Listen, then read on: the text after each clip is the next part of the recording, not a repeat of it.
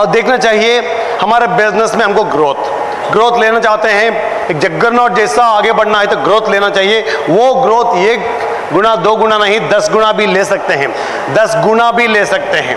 Growth लेना है।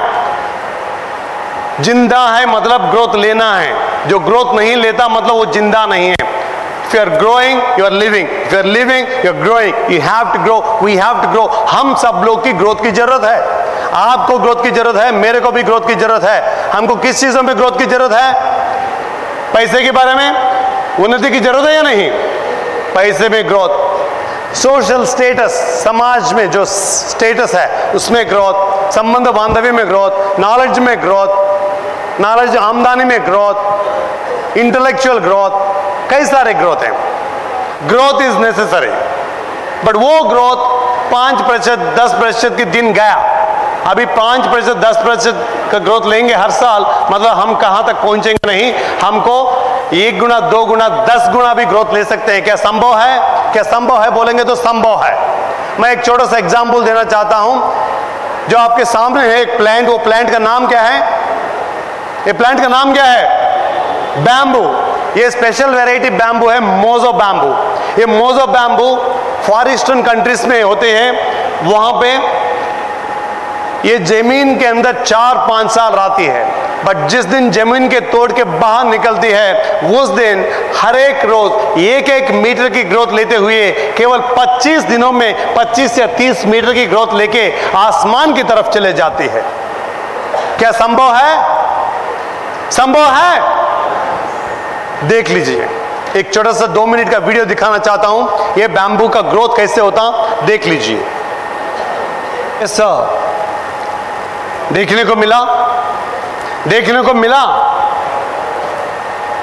कितना ग्रोथ ले रही है?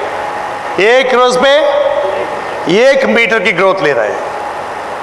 चार पाँच साल तक ज़मीन के अंदर ही रहा।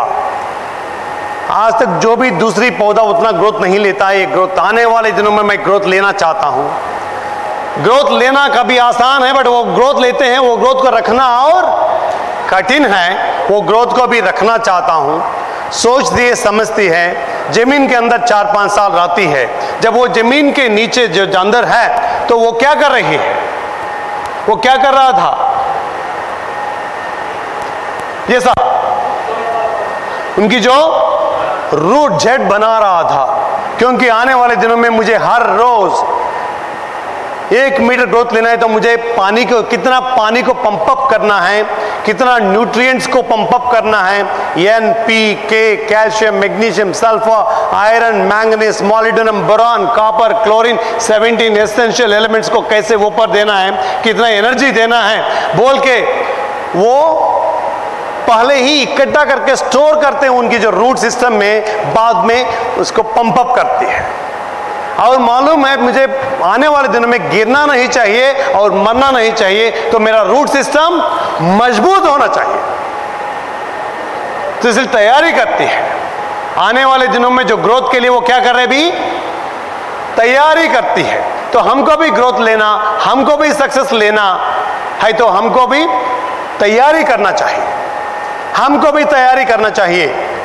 जो भी ग्रोथ हम चाहते हैं हमारी पर्सनल लाइफ में बिज़नेस लाइफ में, हम ग्रोथ चाहते हैं वेरी गुड ग्रोथ चाहना बहुत अच्छी बात है ग्रोथ हो रहा है तो मतलब हम जी रहे हैं। बट वो ग्रोथ भी अच्छी ग्रोथ लेना चाहते हैं तो हमको क्या करना चाहिए? तैयारी करना चाहिए। वो ग्रोथ के अनुसार चार तरीकों की तैयारी करना चाहिए।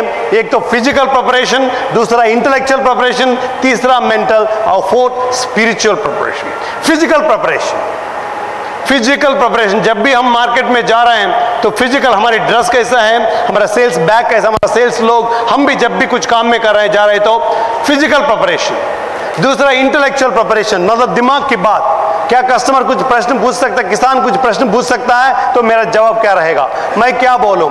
कुछ प्रश्न के बारे में हमारे हमेशा मेंटली और बुद्धि में तैयार होना चाहिए और मेंटल प्रिपरेशन मानसिक मानसिक तैयारी. पॉजिटिव एटीट्यूड कॉन्फिडेंस कॉन्फिडेंस से विश्वास से आगे बढ़ना चाहिए। और fourth preparation spiritual spiritual preparation किसके बारे में? फ़िज़िकल मेंटल इंटेलेक्चुअल और स्पिरिचुअल प्रिपरेशन किसके बारे में हो सकता है? भगवान की प्रार्थना करके हम आगे बढ़ेंगे। आध्यात्मिक तैयारी। हर रोज मार्केट में जाने के पहले thank you God thank you भगवान के एक बार धन्यवाद बोलेंगे। हम मार्केट में जाएँगे शॉप में जाएँगे।